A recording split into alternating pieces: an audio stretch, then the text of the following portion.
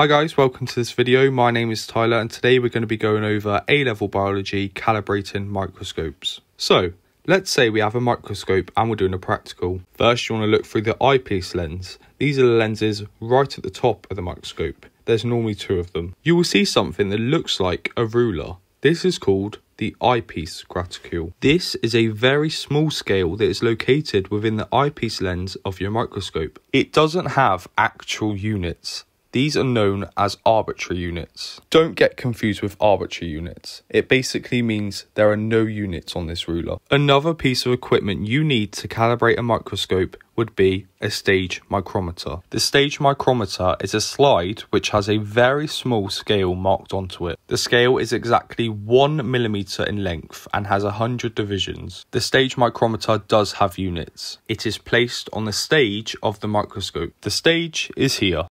The stage micrometer, as said, has a length of 1mm and 100 divisions, which equal that 1mm.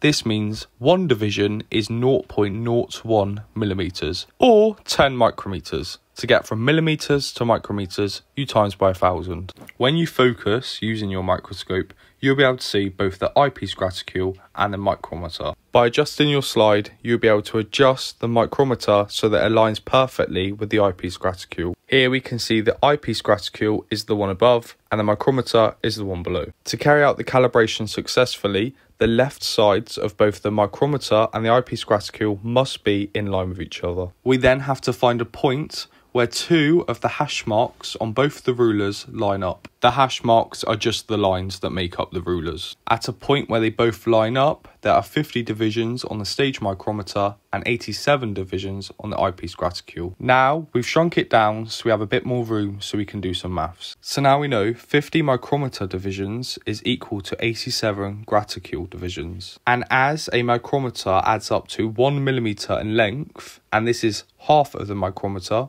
we know 0.5 millimeters is 87 divisions on the graticule. So now we divide 0.5 millimeters by 87, and this is 0.00575 millimeters to three significant figures. So one division on the eyepiece graticule is equal to 0.00575 millimeters. This number is a bit messy to play with, so we're going to times it by 1000 to get it into micrometers, which is 5.75 micrometers. You now remove the stage micrometer from the stage as you have now successfully calibrated your microscope. You can now measure the length of a specimen being studied using the eyepiece graticule. Here we now have an example to study, which is a cell. We know from our calculation before that each division on the eyepiece graticule is 5.75 micrometers. As you can see, the cell has a length of 15 divisions in total. So you multiply 5.75 micrometers by 15 to get 86.25 micrometers. Now this is the actual length of the cell. Remember, you must recalibrate when 1. when you change the magnification or 2 when you use a new microscope. Now that's it for the contents of this video. I really hope you found it useful. If you did, make sure to like the video and subscribe so that you can see more of our content. Make sure to check out our channel because you never know, we might post some content about your other A-level subjects and we might be able to help you. Thanks for watching. Bye-bye.